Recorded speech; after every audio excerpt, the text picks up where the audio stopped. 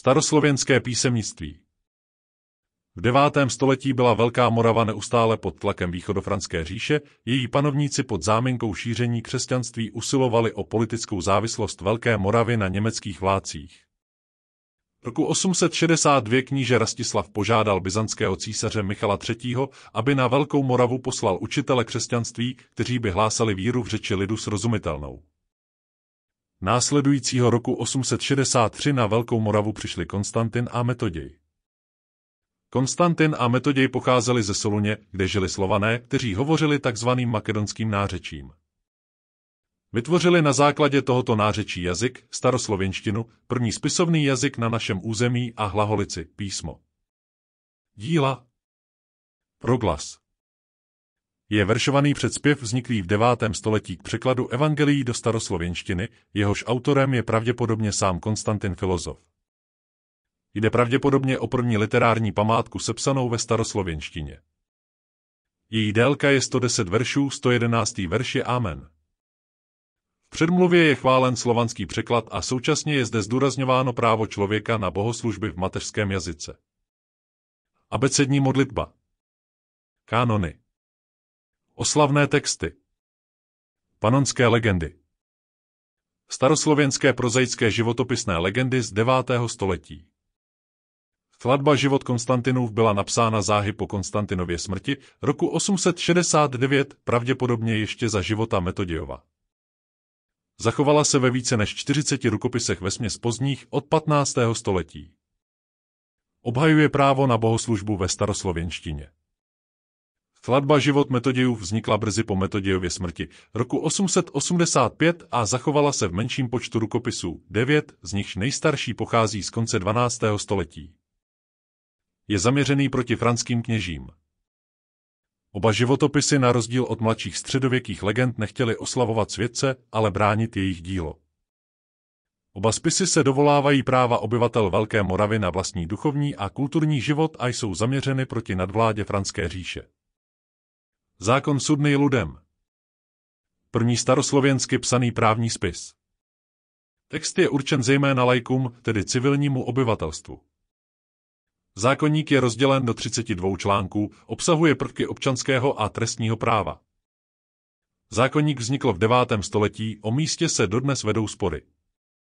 Velmi pravděpodobné místo vzniku je tzv. první bulharská říše nebo Velkomoravská říše, kde je autorství připisováno Konstantinovi. Překlad Bible do staroslověnštiny. Mistrovské dílo překlad starého i nového zákona byla přeložena zřejmě před příchodem na Velkou Moravu. Konstantin přeložil čtyři evangelia, zbytek přeložil Metoděj. Přinesli ji s sebou na Velkou Moravu. Konstantin i Metoděj byli oba velice vzdělaní. Konstantin vynikal v jazycích a Metoděj byl vynikající diplomat. Konstantin odešel do kláštera a přijal jméno Cyril, v klášteře zemřel. Metoděj se vypravil do Říma prosit, aby byla uznána slovanská liturgie, byl zde zajat a dva roky vězněn. Po propuštění se vrátil zpět na Velkou Moravu. Po Metodějově smrti se situace na Velké Moravě stala pro staroslověnštinu nepřátelskou, kníže Svatopluk Metodějovi žáky vyhnal a ti našli útočiště v bulharské a makedonské říši, vznik bulharské a makedonské redakce staroslovanštiny. Posledním útočištěm staroslověnštiny a slovanské bohoslužby byl Sázavský klášter. Po jeho zrušení 1097 nastal konec staroslověnské éry. Pokusem o vzkříšení bylo vybudování kláštera Emauzy 1347 Karlem IV., který zde chtěl pěstovat staroslověnskou kulturu. Laholice byla zjednodušena na cyrilici, ta se stala základem pro azbuku. 1097 zánik sázavského kláštera, vyhnání staroslověnských mnichů, do Bulharska, Makedonie, bulharská, makedonská redakce staroslověnštiny. Vznikaly legendy vyprávění o životě svatých. Hagiografie Světec se narodil jako výjimečné dítě, konal zázraky. Zobrazení jeho mučenické smrti a následných zázraků, svatořečení.